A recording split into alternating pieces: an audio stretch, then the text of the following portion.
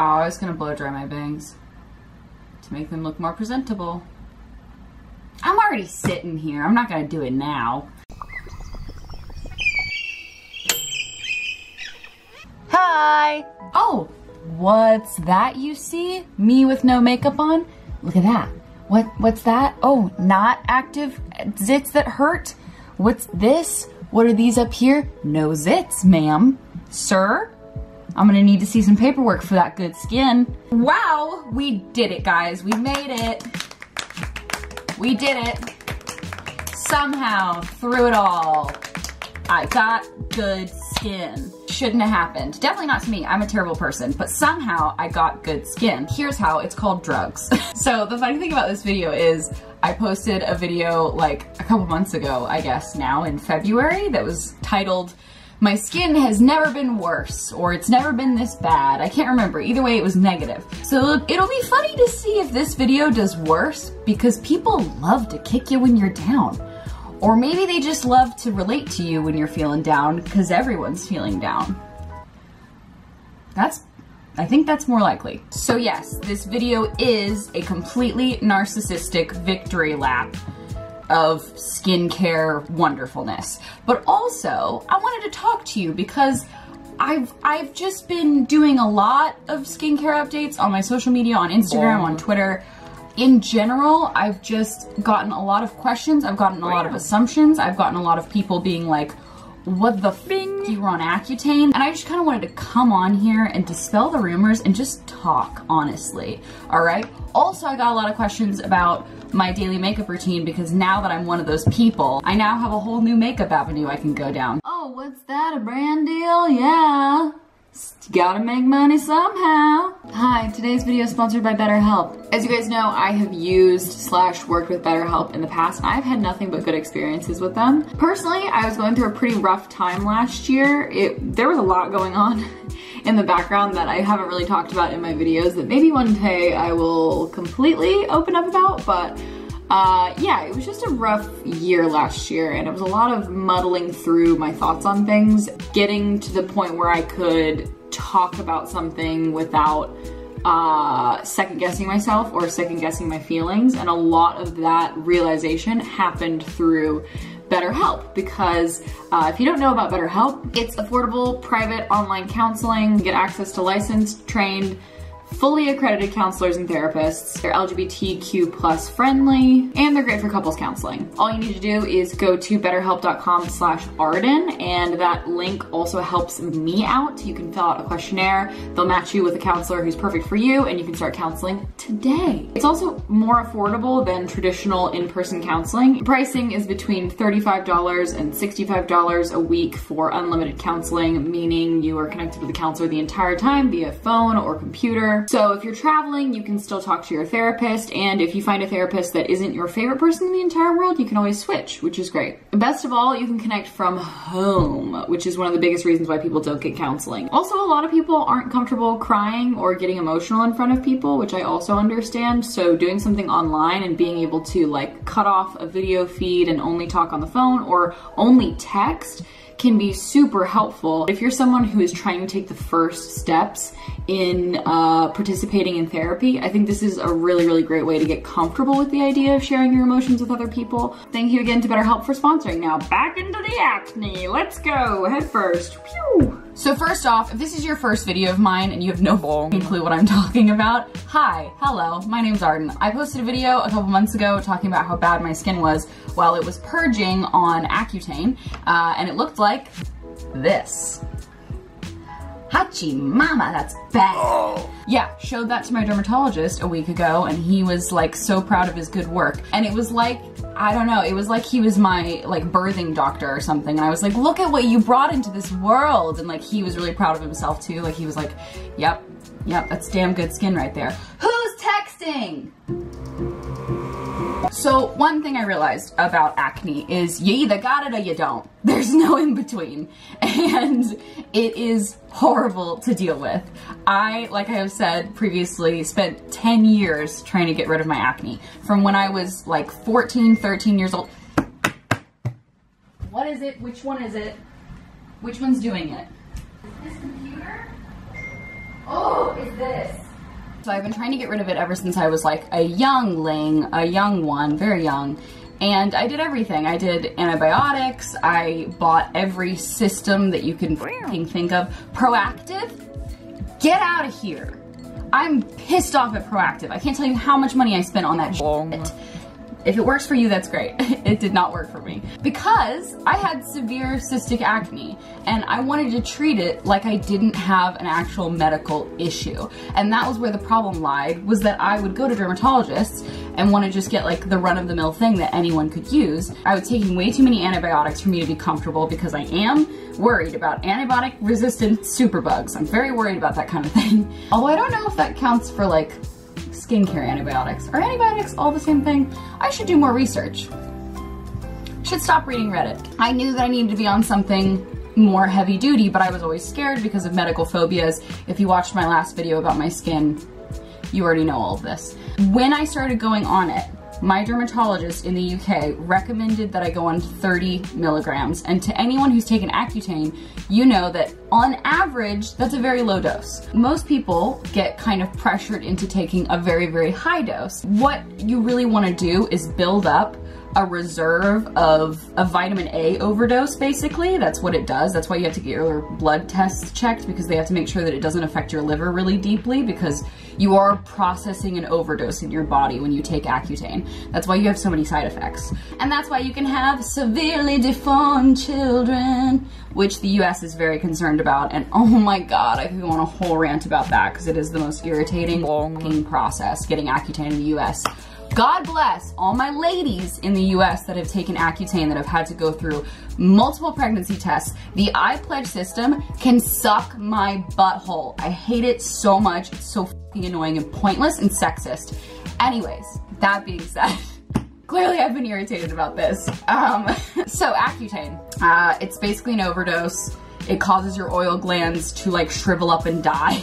like you just don't have any oil or moisture left in your body so it can cause a lot of severe side effects. That's why people also go through bouts of depression because your body does not know how to produce like any kind of lubrication anymore. It's kind of like panic mode for your body.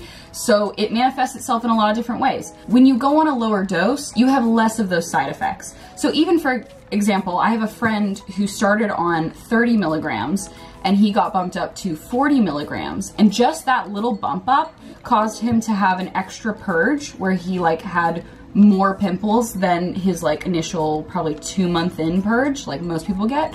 Um, and then he also started getting incredibly fatigued.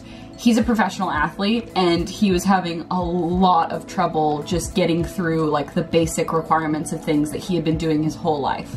So this is something that like can severely affect you, even just that 10 milligram hit up. If you're someone who has been considering Accutane and the whole thing scares you and the idea of being really sick and frail and like fragile all the time makes you scared, A, it's gonna happen, baby. That's just how it is. Even I feel fragile, but I feel a lot better because I'm on a lower dose. If your dermatologist is trying to convince you to take like 70 milligrams and you are someone who is like 120 pounds, you don't, you, I mean, I'm not a doctor, but I don't think you need it. Talking to my dermatologist, by the way, this is all word of mouth from one doctor, but I really love him because he fixed my skin. There's evidence on my face that this works, okay? It's a, a, tiny bit anecdotal, but it also, it worked, okay? There's no actual evidence that you need to be on isotretinoin on a high dose for a short period of time if you can handle a lower dose for a longer period of time. So that's basically what I am doing. I am still on isotretinoin, Accutane, or Roaccutane, and I will be on it into July because it's building up this amount of milligram overdose that your body processes that once you reach that cap, then you've finished your full course and you see like maximum benefits. But most of the time in the US or with traditional dermatologists, everyone has kind of been taught to blow all of that out at one point. So like taking 60 milligrams or 50 milligrams and just like getting it all in as quickly as possible so that you don't have to be on the course as long. But ultimately, you suffer more. your ears peel, your lips fall off every two seconds, like you look like a zombie, and it's because you're having like twice as much as what I'm having. If you look at my skin right now, I'll get like up close and personal. Hi, how are you? Why is this single hair out of the way. I, this is why I wanted to blow dry my hair. I'm Arden Skin. Lovely to meet you. I have Cetaphil moisturizer on right now, and although I have like some little scarring, if you look, my skin doesn't look that dry, which is something that's very common with Accutane. My lips look a little dry. I have Aquaphor on them right now, but in general, I'm not peeling anymore. Like three months in, four months in, I'm not peeling anymore. And I got over that area very quickly. I don't have eczema on my skin anymore. And from what I've seen on Reddit and on the r slash Accutane subreddit, that's a very big thing is that most of these symptoms stay for a really long time. Even after you take Accutane, it can stay in your system for a while, which is good because it means that you're gonna continue to have great skin. But you can continue to suffer. I'll still get random things, like I got a pimple on my butt the other day and I've never had body acne in my life and I just had like a pimple square on my right butt cheek and I was like, what are you doing there? And also I'm mad because I can't reach over and pop you very efficiently. But also like my joints hurt sometimes and when I sleep, my I get kind of like temporary arthritis from Accutane, but I could not imagine being on twice the dose that I am. I could not imagine. It would be so painful because it's already painful. It's already a hard thing to go through. So all I would say for people who are very scared about Accutane and scared about like taking a really high dose, ask your dermatologist about taking a lower dose for a longer amount of time because it has been a lifesaver for me. And I think it was one of the smartest things that my doctor did because originally when he told me that he only wanted me to be on 30 milligrams, I was kind of like, wait, but there are people online taking like 60 milligrams. Can't you at least give me like 40 milligrams? So I feel like I'm actually doing something. And he was like, no, you don't need to be on that. I think it's like, it's unnecessary. Most people do a one-to-one -one ratio. For each kilogram, you would do a milligram. So for me, I would have like 52 milligrams of Roaccutane. Um, and my dermatologist said that what he has been doing recently for his patients is doing half of that, so 0.5. And so that's where I landed right around 30 milligrams. And I have seen amazing results without shaving off my face. But anyways, that that's the deal. That's the deal. Skin's feeling great. Feeling good. Feeling real good. I thought I'd give you, in case you are going through Accutane or you are thinking about going on Accutane, I thought I'd give you some of my like product wow. tips and tricks or advice. First of all, Cetaphil. Bing. Oh, less than $10, giant ass Cetaphil pump. Use it everywhere. everywhere, everywhere. Yeah, use it everywhere. I put it on my face, I put it on my eczema hands, I would put it on my body. Like, stay away from fragrance because it'll aggravate dry skin. Just use the gentlest, most base shit you can find, which is usually Cetaphil. CeraVe is amazing. Any kind of like soothing, OT milky thing is a delight. This, this, this right here. This is the Aquaphor Healing Ointment. Megan, Meghan Rienks, thank you, darling, for telling me about this because this is the best thing that's ever happened to me. For anyone who has severely chapped lips, this is so, so good. I put this on everything. I get really bad hangnails because I pick and bite my nails. I put this on my hangnails. I put it on everything. It is so good. It's basically like Neosporin, but you can use it on your lips. You can use it on like any kind of little crack or crevice you have. If your eczema is really bad, you can use it as kind of like a protective layer. Um, I know when I would go running, my skin, my eczema would flare up because like sun exposure and wind and like sweating and all of that combined would just make my eczema really flare. And so I would put this on the edges of my hand where I would get eczema. Um, so this, so, so, so highly recommend. SP. If you are not wearing sunscreen just as a general thing, as a person, as a human being with skin, honey babe, your skin is your largest organ. Let's take care of it, okay? You wouldn't just lay your heart out in the sun and let it just beat there, getting grizzled. You would put SPF on it. So put SPF on your body and your skin and your face in particular and your neck and your high points. Anywhere that you hit a lot of sun, put sunscreen on. Even when I was wearing sunscreen, I was still getting weird tans. Like, I don't know if you can see how like faintly pale my inner arm is here. That's from running because when I run, I run like this. I just realized I run like a cartoon character. Like I legitimately run like this. Oh God. I'm gonna put on this Glossier Invisible Shield because I just want more SPF in my life. This one is fragranced, but it doesn't bother my skin, which is good. It doesn't make me break out. Although, nothing makes me break out anymore. I could smear my face with shit and I wouldn't, well, maybe. Maybe I would break out. But I can do absolutely anything. And that's one thing that I am so grateful and thankful that I went on Accutane because now I'm not worried about random breaking me out. Like the stupidest wow. would break me out. Like I would lay down on my boyfriend's chest to take a nap and I would wake up with like a breakout already like surfacing. Like my skin did not want me to be in love. It was, it was honestly a very big mood killer. It was horrible. And it's not just because of the vanity. It was because it was painful because these cysts would be under my skin and right near my jaw. And you know, if you're someone who has like cystic acne that's near the bone, it wow hurts.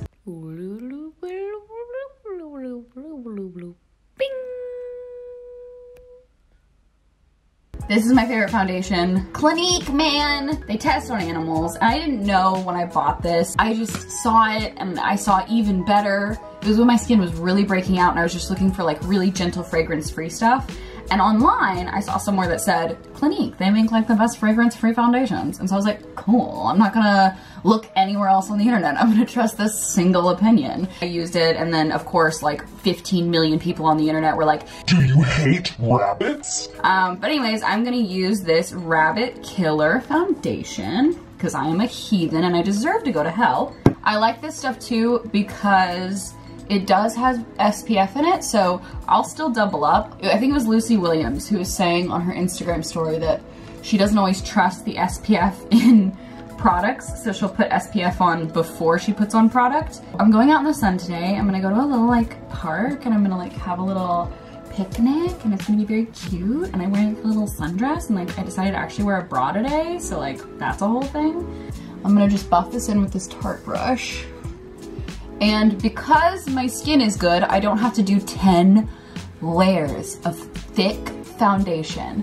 Like cut to the way my skin looked in my My Skin Has Never Been Worse video, that foundation, Lord help us all. That was the thickest shit I've ever put on my face.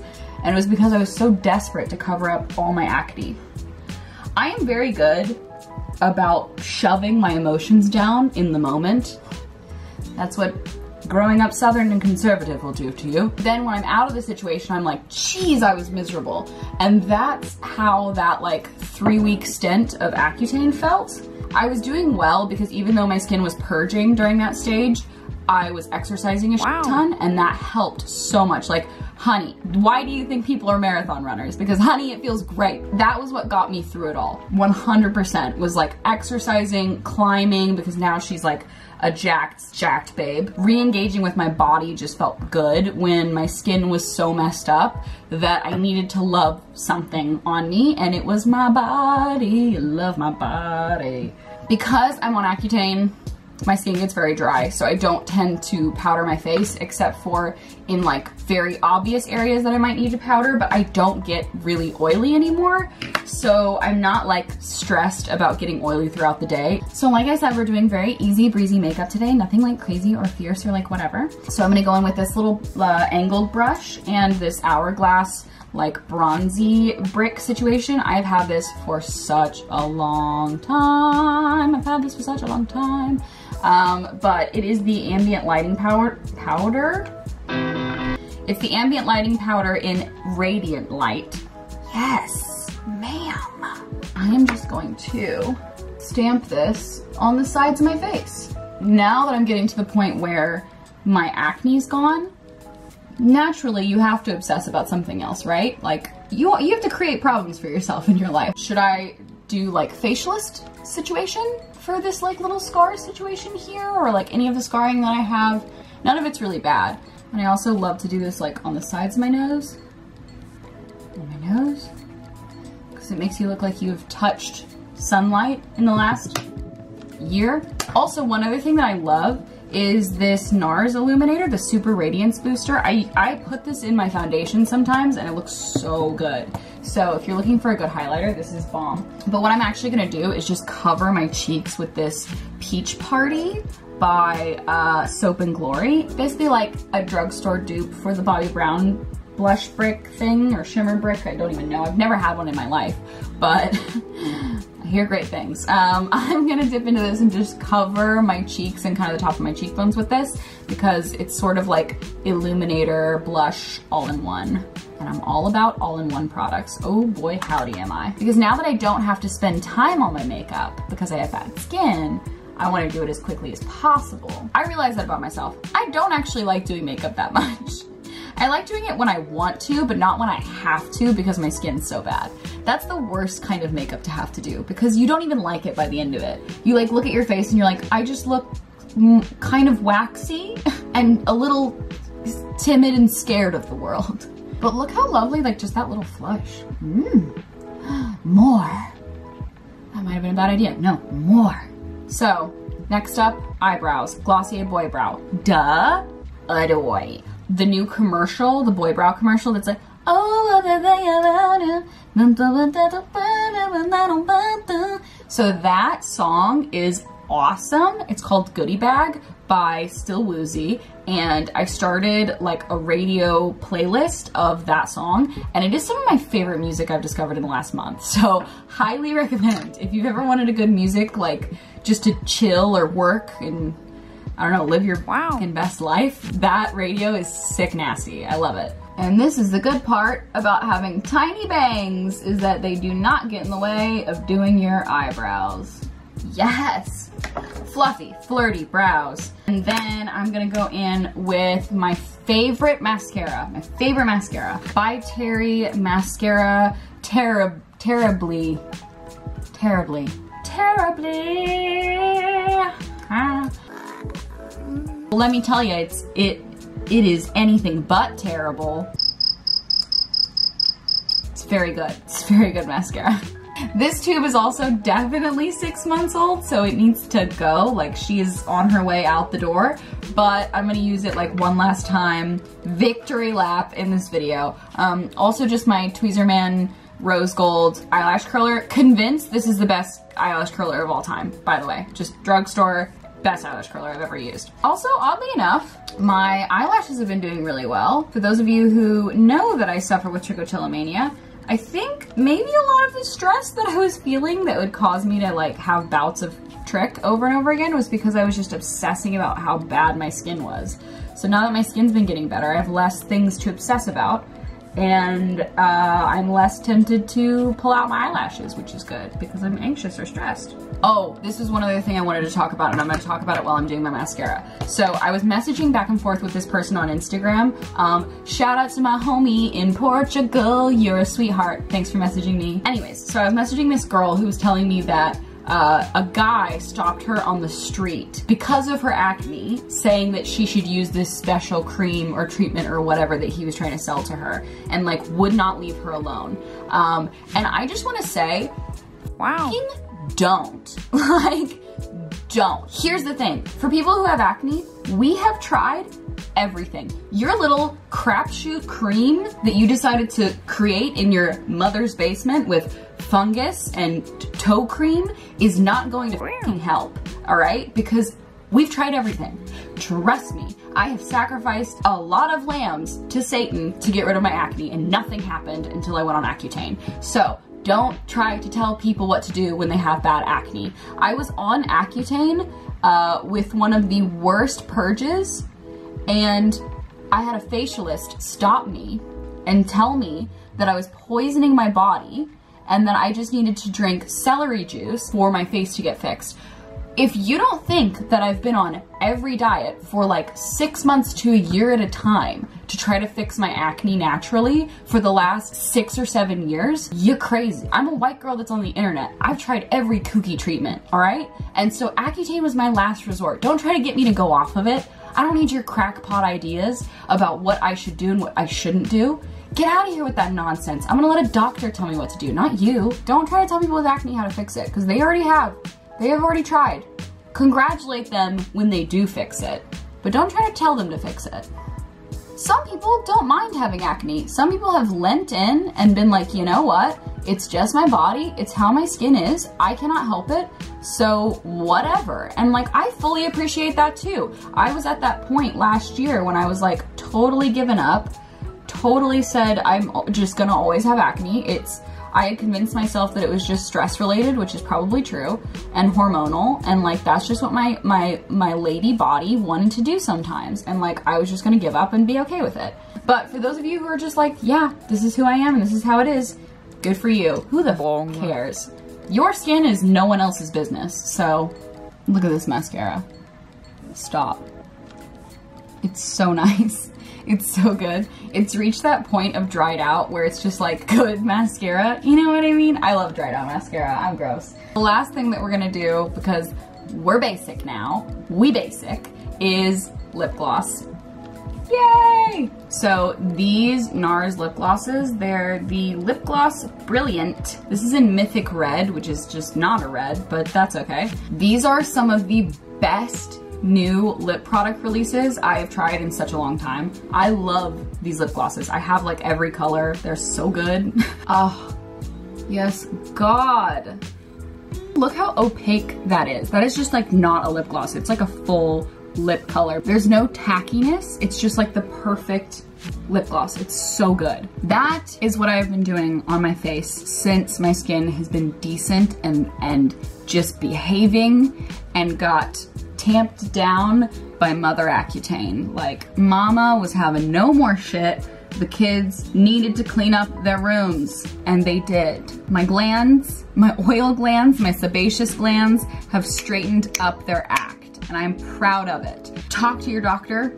That's probably the, the biggest thing. Talk to your doctor. Don't just read stuff online. Don't just get anecdotal evidence from friends or random YouTubers. Go to a doctor um, and talk about the issues you're having with your skin. And if you don't like the doctor that you're going to, go to a different doctor. because I know I did that. I went to so many dermatologists before I found one that really knew what I was trying to do and knew that I didn't want to be miserable for like six months. Don't be scared if you've been thinking about going on Accutane so many people go on it every year. You would not believe how many people in your life that you were envious of their skin have been on Accutane. That's what I learned because the moment I started going, yeah, I'm on Accutane and finally like things are starting to look up, everyone in my life was like, oh, I was on Accutane in high school my skin's never been better. Oh, I was on Accutane in college. Oh, I'm a movie star and I was on Accutane six months ago. People with pretty beautiful skin usually put a lot of money, time, and effort behind it unless they are just genetically blessed, which is also a true thing. Looking at you, Lia Marie Johnson. Have you ever seen her skin? It's flawless. Thanks for watching my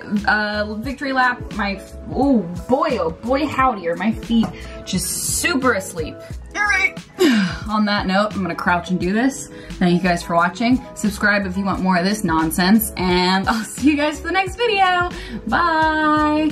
Once again, before this video is over, I wanted to pop back in and say thank you, BetterHelp, for sponsoring this video. BetterHelp.com slash Arden if you wanna go sign up. Helps me, helps the channel, gives me some of that cash dollar dollar, which would be very dope right now. As you know, I'm trying to move to a place that has an office. So that's my life. Thank you so much and bye.